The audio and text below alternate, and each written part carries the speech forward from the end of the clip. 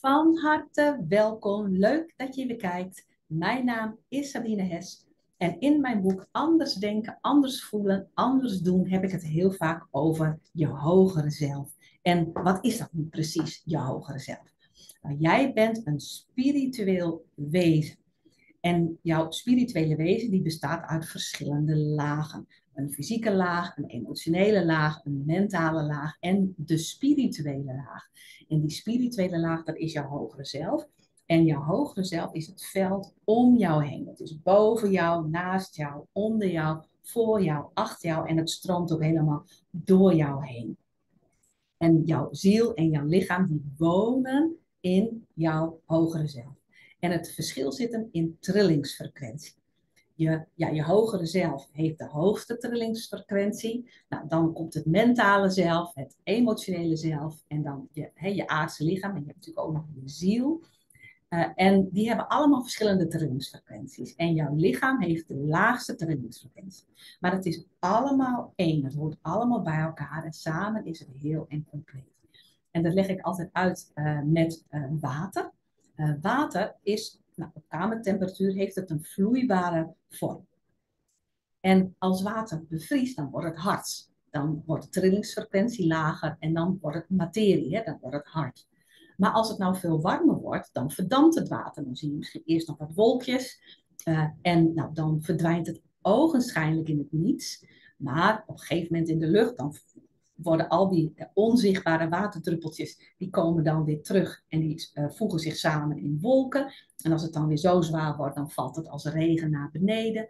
En als het dan bijvoorbeeld in de Alpen valt op een hoge berg, dan wordt het sneeuw of het wordt weer ijs. Nou, dat is allemaal water in een andere vorm en in een andere trillingsfrequentie. Nou, zo zie ik ook jouw hogere zelf, je mentale laag, je spirituele laag, je emotionele laag en je fysieke laag. En je lichaam heeft dus de laagste trillingsfrequenties. Maar dat maakt het niet minder of inferieur. Nee, want je hebt je lichaam ook nodig om te manifesteren. He, zoals mijn boek bijvoorbeeld, dat is dan ooit begonnen met een idee vanuit mijn zielsverlangen. Uh, om ja, mijn kennis uh, op papier te zetten. Nou, dan komt dat als inspiratie naar mij toe. Maar dan moet ik er wel mee aan de slag. Ik moet het wel uittypen. Ik moet een uitgever zoeken om het, uh, om het boek uit te geven. Dus je lichaam helpt jou om jouw zielsverlangen ook daadwerkelijk op aarde te manifesteren. En jouw lichaam is daar dus heel erg belangrijk onderdeel in. Dus het is zeker niet uh, minder goed dan je emotionele, je mentale lichaam of je ziel of je hogere zelf. Het gaat helemaal niet om beter of slechter. Het is alleen maar een andere trillingsfrequentie en heeft dus ook andere eigenschappen. Uh, net zoals water als ijs andere eigenschappen heeft dan wanneer het vloeibaar is en wanneer het waterdamp is of wanneer het verdwijnt in het niets. Dat maakt water niet beter of slechter.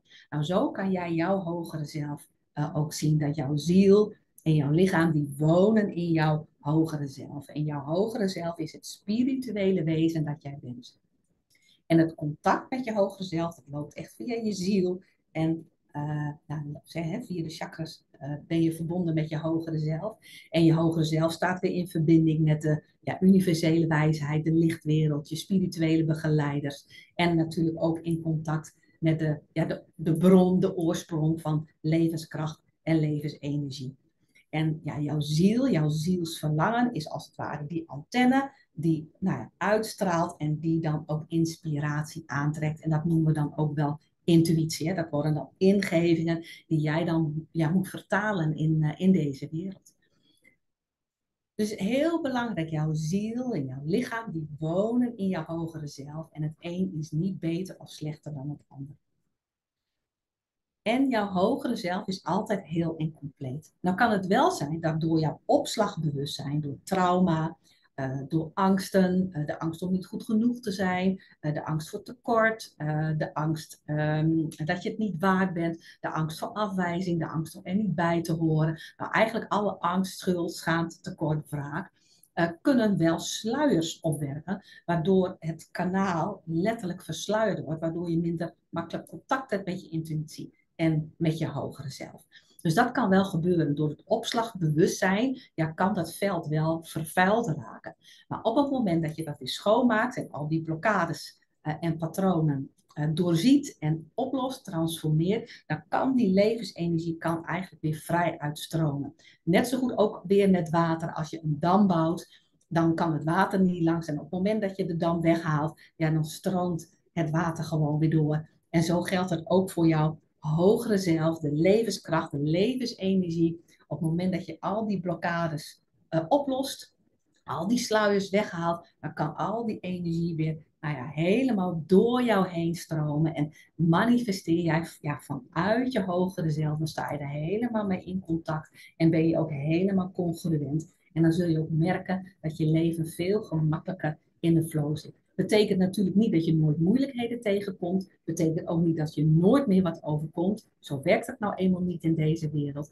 Maar als jij goed contact hebt, als jij je heel en compleet voelt en nou ja, patronen doorziet, dan sta je veel meer in je kracht en uh, kan je ook dat wat er buiten jou gebeurt veel gemakkelijker aan. Omdat je dan de, ja, de stabiliteit, um, uh, de standvastigheid in jezelf vindt. Dan ben je onafhankelijk van de buitenwereld. Nou, dat is hoe ik het hogere zelf zie. Dit was het voor vandaag. Uh, graag tot de volgende keer.